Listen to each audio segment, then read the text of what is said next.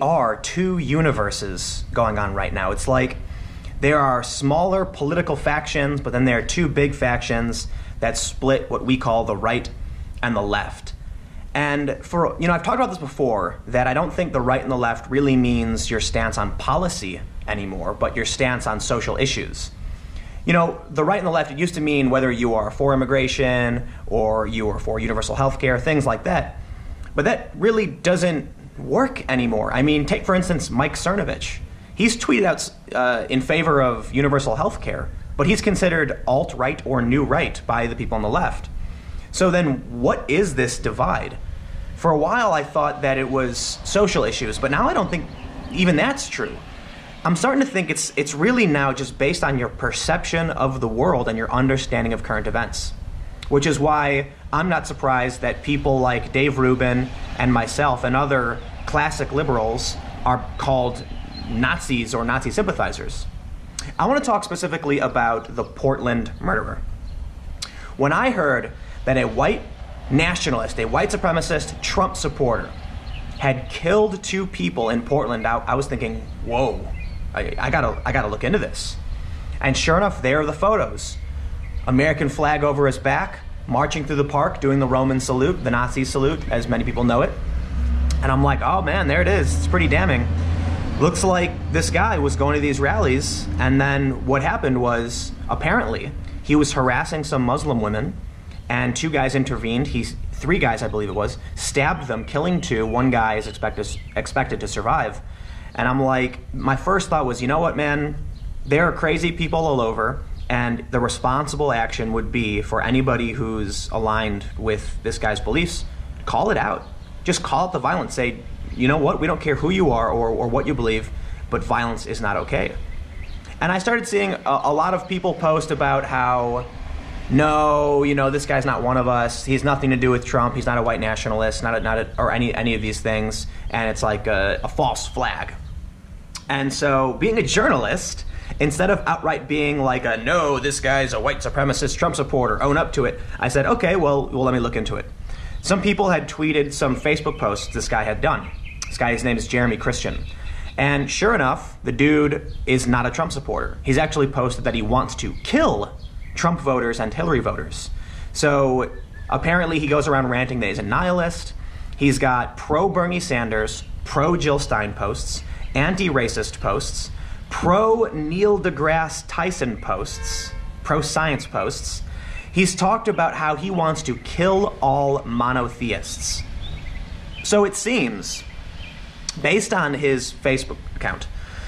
And what happened that he wasn't harassing the Muslim women out of out of racism. It wasn't a, an attack on Arabic people, or I don't even I'm not I don't even know what the race of those women were. Which uh, and and it wasn't specifically that he didn't like Islam. It was that not only does he not like Islam, he doesn't like Christians either. He doesn't like Jewish people either. He is flat out posted that he, he wants to kill monotheists. So he really just hates religion in general. And he's pro science, anti racist.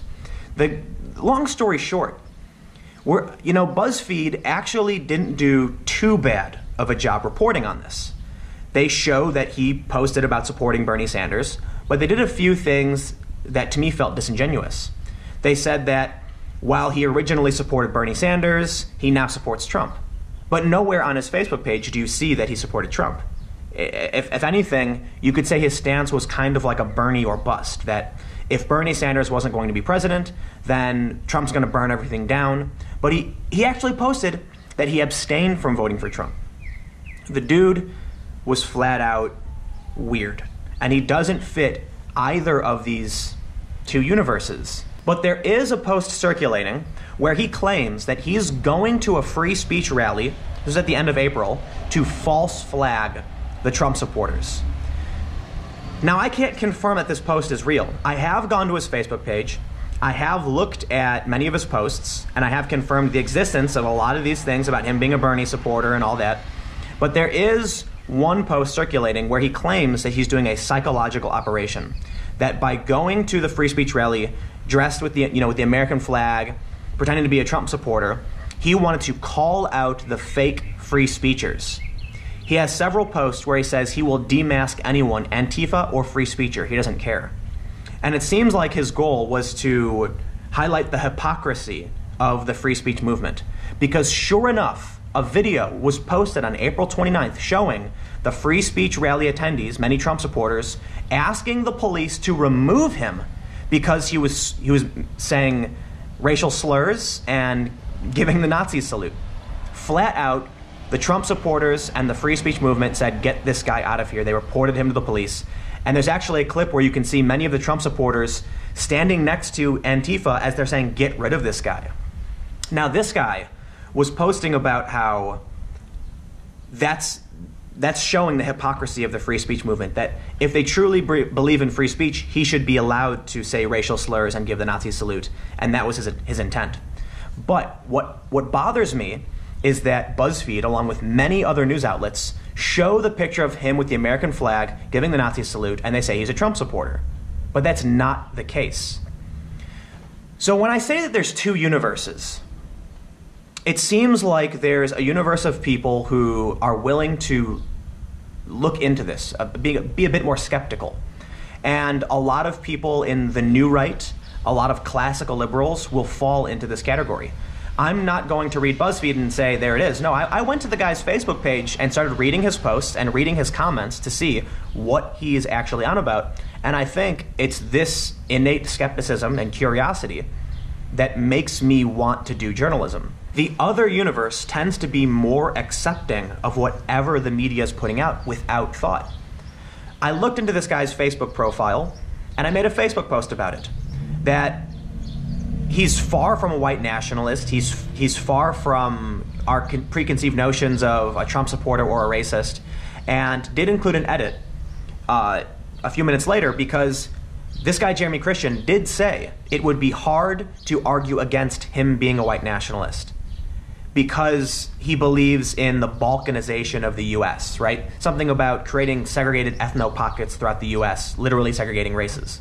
But while my intent was to have a legitimate discussion about who this guy is and what he believes, a lot of people in what I would call the other universe simply said that I was supporting an alt right conspiracy narrative. And instead of actually looking into this guy, they immediately just go for the if you disagree, if you don't call this guy a white, a white supremacist, Trump supporter, then you are a lying alt right Nazi sympathizer.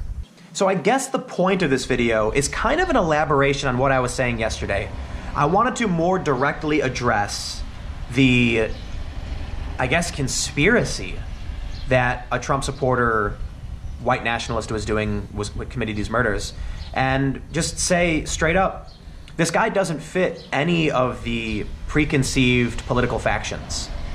You can't really call him a Trump supporter or a white nationalist. You can't really call him a Bernie supporter or a, a, a left leaning activist. It's not fair.